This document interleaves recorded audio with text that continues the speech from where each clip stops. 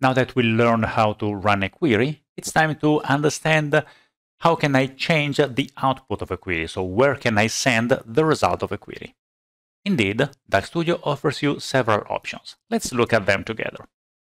You can send the output to a grid, and this is exactly what we have done so far. You run a query, you immediately look at the result. But you can also send the result to time.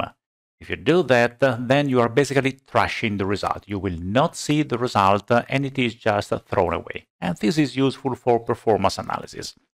You can send the output to a file, a CSV file, or a file that you can, of which you can change the format. And finally, a feature that I bet most of you will really love, Excel. You can send the output a of a query to an Excel file, either a static Excel file or a linked file. Let's see all the features together. Here we still have the same query we were using earlier, and uh, it's running a SUMMARIZECOLUMNS by year and producing the amount. If I run the query, I see the result here. This is uh, just uh, the query, the result of a query sent on a grid. But I can change the output. For example, I can choose timer. Let's add something, like for example, the customer name. Now I'm retrieving uh, by year and name the sales amount. And I chose uh, timer as the output. If I run the query, you see that nothing happens. I don't see the result. And if I look at the result here, there is nothing. So the query has been executed, but I don't see the result. So why this might be useful? Well, the reason is sometimes uh, you are doing a performance analysis. And uh, when you are doing performance analysis, you are not interested in the actual result of a query, but only in the time that it takes to execute the query. Besides, if your query generates a large result, uh, as a consequence, DAX Studio needs to read this information, and this operation, just reading the data, takes time. You don't want to pollute your timings with uh, time to read the data that you are not interested into. That's why using time might be useful, because you trash the result in order to have precise measurements about the time needed to only execute the query, without having to worry about the time required to gather the information. So time is useful mainly for performance analysis. But there are other outputs. I can send the output to a file. Now, if I send the output to a file and I run the query, you see that uh, Studio asks me to send, ask me a name. Let me overwrite, uh, let me delete this and save again my query. So I just click on save and this generated uh, a file named my query, which uh, contains the result. Let me open that folder. Here I have uh, my file. I can just edit it.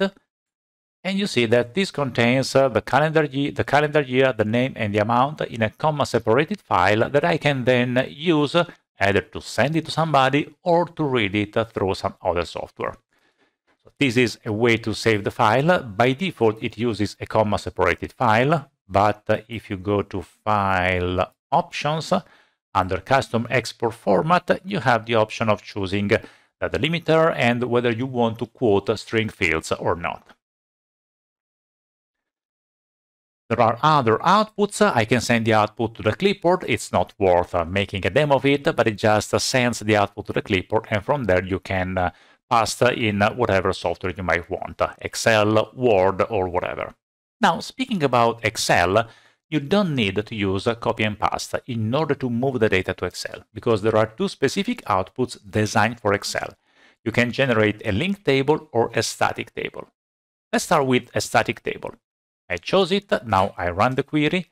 Again, a dialog asks me to uh, provide a name, and I do that. It's my query in Excel. Let me save it. I now go back to my folder, you see that I have my query, the file that I generated earlier, and my query in Excel. If I double click my query in Excel, Excel starts and I have a file containing the same information returned by the query, but in an Excel file. From there, I can do whatever I want. I mean, it's Excel, so you are free to use this data to do whatever you like. The thing is, uh, this result is a file containing static data. What if I want a file that, that can be refreshed? In that case, I can use a linked output. Run it again. And uh, I have a warning. Let's read it together. The warning says that uh, there is a data connection. Basically, what is happening is that uh, DAX Studio is uh, creating an Excel file with a connection to the tabular engine to which DAX Studio is connected to, and it will save uh, the, both the result of the query, but also the text of the query in a table that can be refreshed later. Of course, we enable it because we want to see the result. And uh, it says that there is an error. Let me try that again.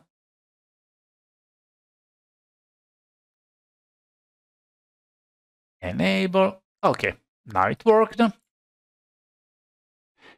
The result is a table that contains the calendar year, the customer name, and the amount. But if you right-click on this table and you go to Table, Edit Query, you see that it contains a query that is evaluate SUMMARIZECOLUMNS, date, calendar year, customer name, amount, and sales amount. This is the same query we generated with a connection to the data model to which DAX Studio is being connected. So this is an Excel file that is linked to the data source, to the database to which DAX Studio is connected and can be refreshed later.